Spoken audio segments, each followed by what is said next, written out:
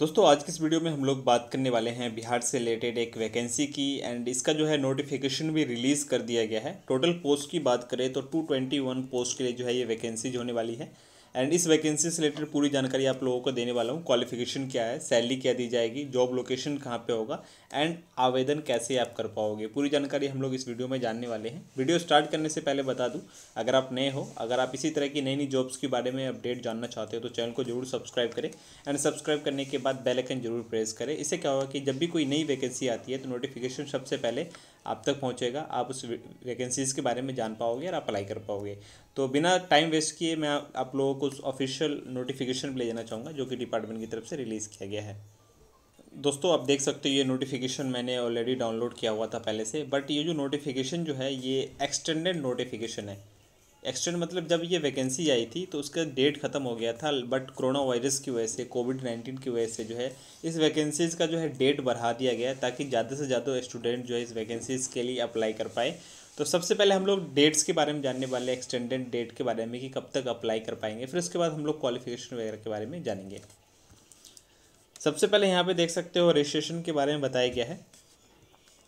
And यहाँ पे बताया गया है कि विज्ञापन संख्या इतना, अंतर्गत इकतीसवीं बिहार न्यायिक सेवा प्रतियोगिता परीक्षा के आधार पर असैनिक न्यायाधीश कन्या कोटि कुल 221 पदों पर जो है नियुक्ति हेतु दिनांक 9 तीन को प्रकाशित विज्ञापन के अंतर्गत जो है ऑनलाइन आवेदन पद भरने हेतु पूर्व से निर्धारित तिथि को निम्न प्रकार पुनः विस्तारित किया गया है। जो पहले डेट थी उसको बढ़ा दिया गया है।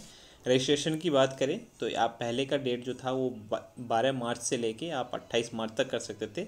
लेकिन अब जो है, आप पाँच मई से लेकर जो है, यहाँ पे तीन जून तक जो है आप अप्लाई कर सकते हैं।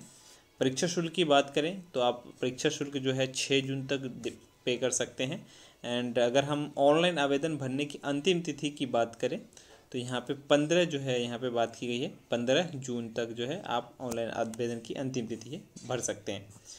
जिस तिथि को रजिस्ट्रेशन किया गया है, उसकी अगली तिथि को पूर्वाहन ग्यारह बजे के बाद परीक्षा शुल्क का ऑनलाइन भुगतान करने के लिए आवेदक का लिंक उपलब्ध होगा। जिस तिथि को भुगतान किया गया है, उसकी अगली तिथि को पूर्वाहन ग्यारह बजे के बाद आवेदक की ऑनलाइन एप्लीकेशन फॉर्म भरने के लिए लिंक उपलब्ध होगा। आज दिनांक इतना के अंतर्गत निर्दिष्ट भुगतान कर लेना है। तो कुछ टर्म्स एंड कंडीशन दिया गया इसको आप पढ़ सकते हो, ठीक है? तो ये हो गई डेट्स की बात। अब हम बात कर लेते हैं उस ऑफिशियल नोटिफिकेशन की, जहाँ पे बताया गया है कि कौन कौन आवेदन कर सकता है, सैलरी क्या मिलने वाली है जॉब लोकेशंस क्या होने वाली है, पूरी जानकारी हम लोग नेक्स्ट जो है ऑफिशियल नोटिफिकेशन में जाने वाले हैं।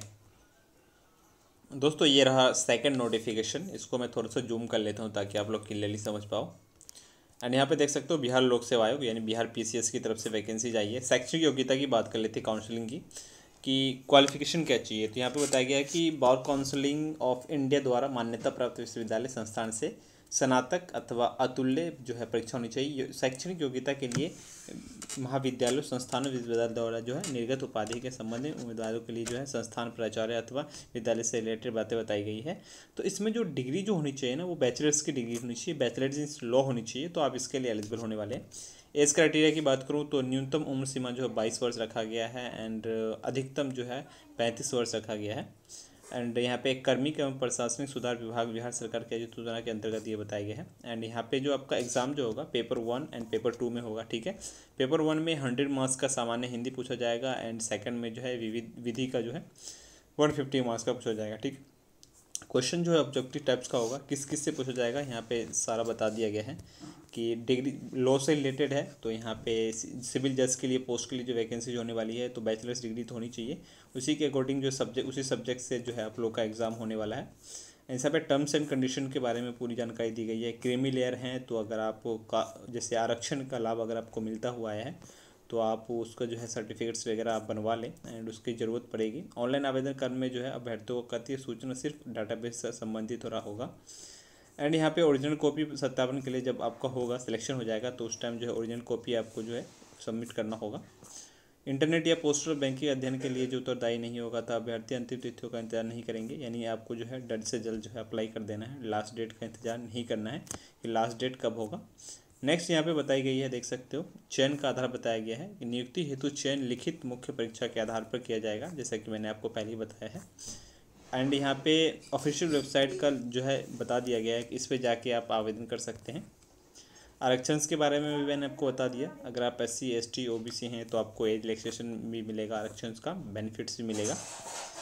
नेक्स्ट जो है यहाँ पे बात की गई है, वैसे अभ्यर्थी ऑनलाइन आवेदन पत्र भरने संबंधी कुछ इंस्ट्रक्शंस के बारे में दिया गया है, कब से कब तक आप अप्लाई कर पाएँगे तो ये तो पहले की डेट है ओल्ड पुरानी डेट है।